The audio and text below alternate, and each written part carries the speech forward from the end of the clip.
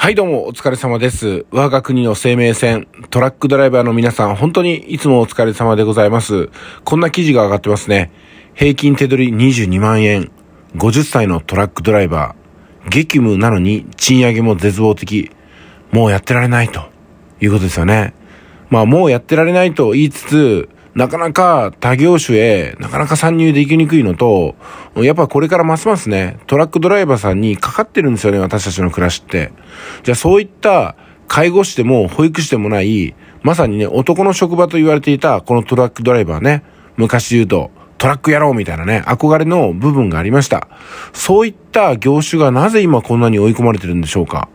なんか保育士さんとか介護士さんを今例に取りましたけども、で、賃上げが難しくって、しかも重要な役割って、トラックドライバーさんっていう見方もできるんじゃないかなということで、ちょっといろいろとね、お話していこうと思います。えー、大企業各社が賃上げを宣言する中、賃上げは行わないと7割に達するのが価格転嫁への対応。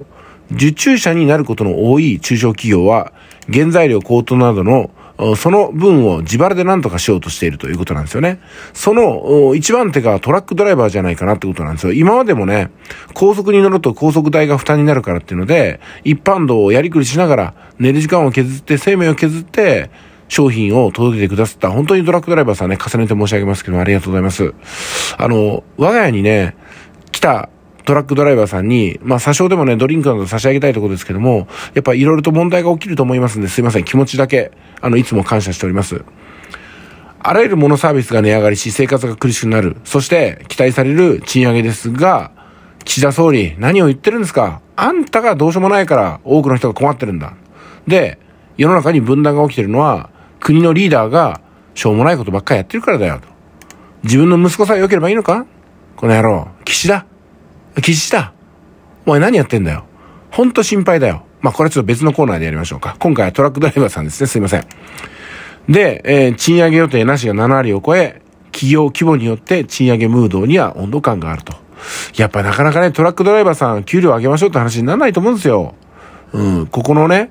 日本のサラリーマン、大企業と中小企業の給与格差ってありますけども、こんな数字まだいい方ですよ。数字に出てこないような給料っていうのは世の中にたくさんありますからね。厚生労働省に取り上げてもらってないような賃金。こういった、いわゆる本当の実質賃金で見てほしいなというところがあります。その一つがトラックドライバーさんの給料じゃないですか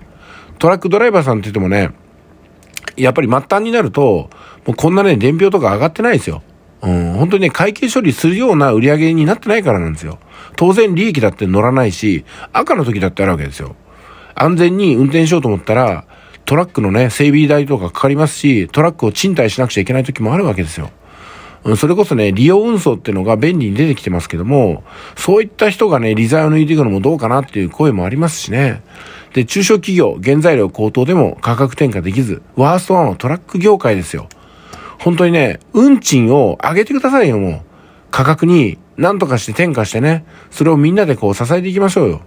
だから誰かが、結局この値上げとかね、あの、増税の負担を回避して、その分付けを誰かに回して、で、のんのんとしてるんじゃなくて、みんなでやっぱり分担してね、少しずつですよ。一人の100歩より100人の一歩じゃないですか。私はそういった気持ちになるんですけどもね。で、価格転嫁に応じてもらえない業種で際立ってるのがトラック運送業。ね。確かに価格転嫁難しいですよ、こういうところ。うん。やっぱなんかこの辺ね、トラックドライバーさんに、なんかその走行距離課税とかってとんでもないこと考えるんじゃなくて、走行距離に応じて、やっぱりね、ありがとう代金をバックしてもいいぐらいですよ。そう言って思いませんか、そういうふうに。本当にトラックドライバーさんのおかげで私たちは安全にコロナ禍も過ごせたわけでしょ？通販をいっぱい利用してね、年末年始もいろんな人から人への贈り物誰のおかげなんですかってことですよ。で、トラックドライバーはそれでも人手不足。人手不足なら本当だったらね、給料の一人当たりの取り分って増えるわけなんですけども、それも追いつかないぐらいなんですよね。あと、ドライバーさん高齢化が進んでます。私も50歳ですけども、お手伝いできるもんだったらね、お手伝いしたいなと思うぐらいですけども、高齢化って聞くとね、この運転手の平均年齢を私がね、押し上げるだけなんでね、ちょっとじくじたるもんがありますね。まあでも本当に最後にもう一回申し上げたいんですけども、トラックドライバーさんの皆さん本当にありがとうございます。なんとかね、こういった真面目にやってる人が報われるような世の中来てほしいなと思っております。それでは今回は以上です。